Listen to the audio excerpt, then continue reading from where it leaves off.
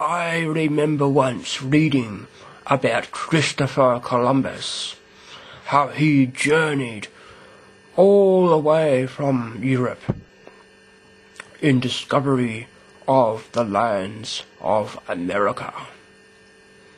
Now he didn't know for sure that there was a land across the Atlantic, but he believed that there is a land and that he wanted to discover it.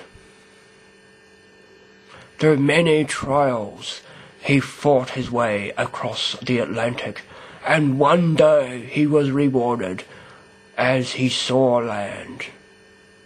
And now he is a famous man in history because he took the bold step of finding America.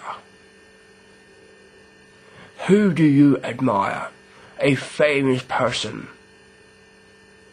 Think of a famous person who you particularly admire and write something positive about that person that you believe inspires you.